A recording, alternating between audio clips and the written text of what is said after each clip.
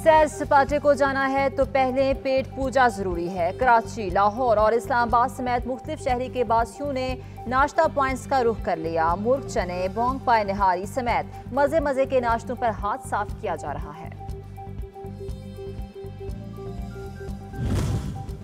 ईद के दिनों में सैर सपाटे का प्रोग्राम में आने वालों को महकमे मौसमियात ने ग्रीन सिग्नल दे दिया। आइंदा सात रोज तक बारिश न होने का इम्कान ज़ाहिर कर दिया। शहरों ने मलका कोहसार और शुमाली इलाका जात की यात्रा के मंसूबे बना लिए।